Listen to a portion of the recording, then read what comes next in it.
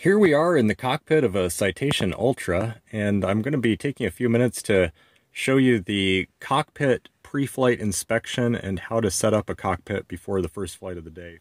I have a flow that I like to use, and it's it's real simple. We just start on the co-pilot side, and uh, there's a few things to hook up and look at, and in general, we're going to be making sure that all of the switches that need to be set to a certain position are either off, auto, or normal. We'll start with the oxygen mask on the co-pilot side. This is normally unplugged, and I'm out on a trip today, so uh, we have this plugged in. But normally when we put the plane away for the night, we unplug this in order to minimize the chance of oxygen leaking out of the bottle.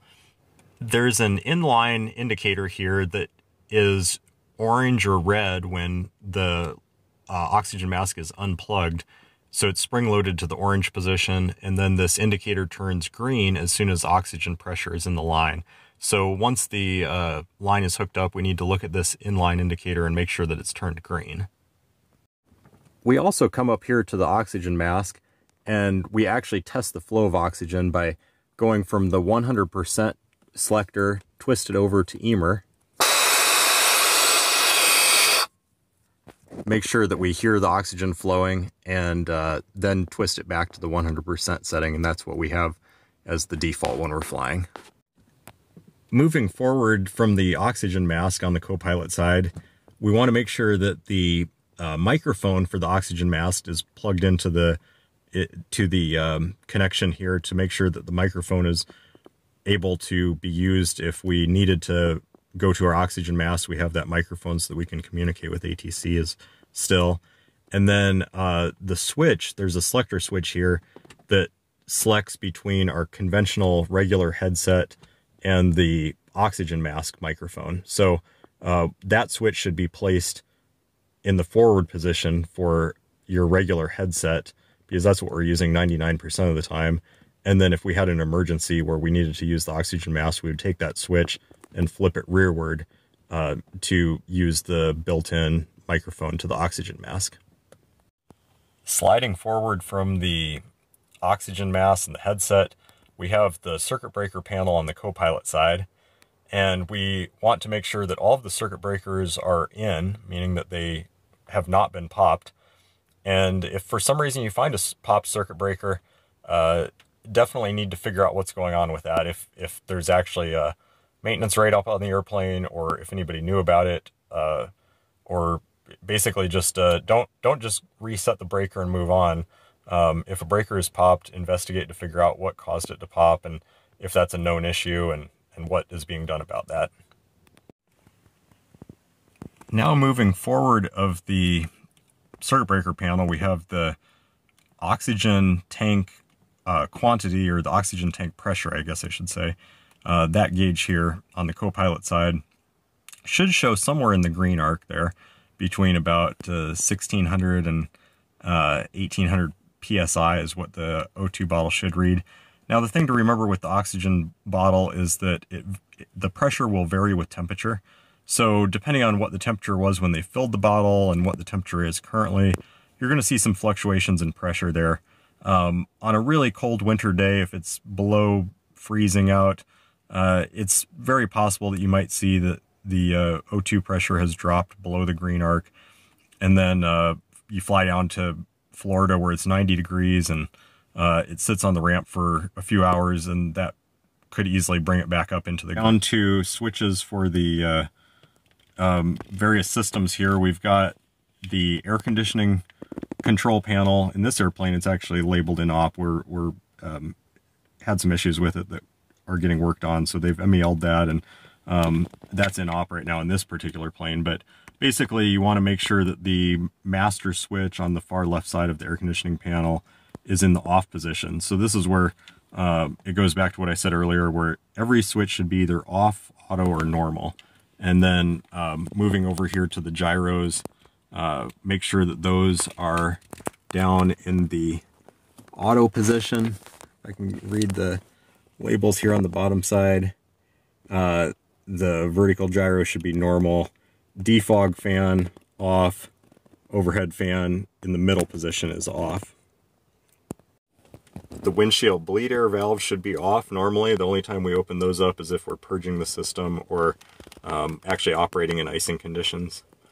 And then moving up to the uh, pressurization and, and um, environmental controls here, we want to make sure that the temperature selector is somewhere in the automatic range, somewhere in the middle usually works good unless you know it's going to be really hot or really cold for the day. We want that in the automatic area. Um, and the pressurization source should be selected to normal. And coming rearward on the pedestal here, we should see that the flap selector matches the indicator and the pitch trim wheel um, should have the pitch trim set somewhere in the takeoff position in that range. The uh, throttle should be in the cutoff position all the way aft, as, as far back and as far down as they can go. And then when we continue looking back here, we get the aileron and rudder trim, and uh, that will be somewhere relatively close to the middle position there. Every airplane is just a little bit different, so I generally trust that the previous pilot had it set okay, unless I see something drastically different there. Moving back up to the top of the pedestal here now, we're going to look at the uh, ground idle switch. That should be down in the normal position. And right after I keep uh, harping about how everything should be off auto or normal, I come to the anti-skid switch. And this is, I guess, the one exception to that rule. The anti-skid switch should always be in the on position. Uh, there's really never a time, either under normal or abnormal situations that I'm aware of, that we turned the anti-skid off. Um, it's uh, kind of a long story about that that I could probably go on and on about, but um, in any case, leave the anti-skid switch on. That should always be on. Um, coming over to the landing lights and the taxi recog lights, the middle position of that three-way switch is off, and uh, we we leave it off. Uh, the beacon switch, again, this is kind of a, an exception, or uh, you can go either way with this. A lot of times we leave it on to remind us if the master is on. Now looking at this passenger safety switch, I want to talk about this for a minute. The passenger safety switch controls the seatbelt sign as well as the passenger safety light. So it's a three-way switch. Having it in the middle is off. That's what we should see at the start of a flight. Um, and when we move it down into the lower position for seatbelts, that will sound a chime and it will also turn the seatbelt sign on. Um, and if we were to go all the way up into the up position, or for passenger safety, that will turn the seatbelt sign on, but the, it will also turn the passenger safety lights on. And those passenger safety lights are the two lights that illuminate the entryway and the exit door. I'll show you those in a second. And um, we need to make sure that those are working in case we needed to uh, evacuate the aircraft quickly. As part of the pre-flight check, we're going to turn that switch up into the passenger safety position and then turn around and look out the back of the airplane and we see that the exit signs and those two lights shining on the doorways are illuminated and that allows us to evacuate the airplane quickly in the dark. If right next to the passenger safety switch we have the standby gyro switch. And if you can see at the bottom of that switch, there's a test position.